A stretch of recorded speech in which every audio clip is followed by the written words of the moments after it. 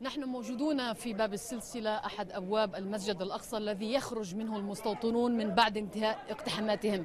النساء على الأرض هنا في البلدة القديمة بفعل دفع قوات الاحتلال وشرطة الاحتلال للنساء والفلسطينيين الذين تم إبعادهم عن المسجد الأقصى تزامنا مع الاقتحامات التي بدأت في ساعات مبكرة من صباح هذا اليوم.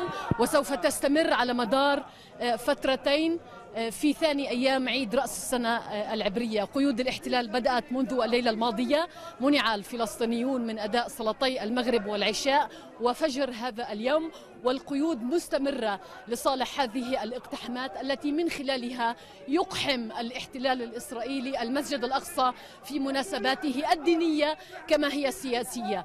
الآن صرخات الفلسطينيين هنا عند عتبات المسجد الأقصى الذين تم دفعهم وتم إبعادهم بالقوة بسبب هذه الاقتحامات. نرى هنا دماء على رأس أحد الفلسطينيين الذين تم إبعادهم بالقوة لصالح تأمين هذه الاقتحامات التي تتم بحماية قوات الاحتلال.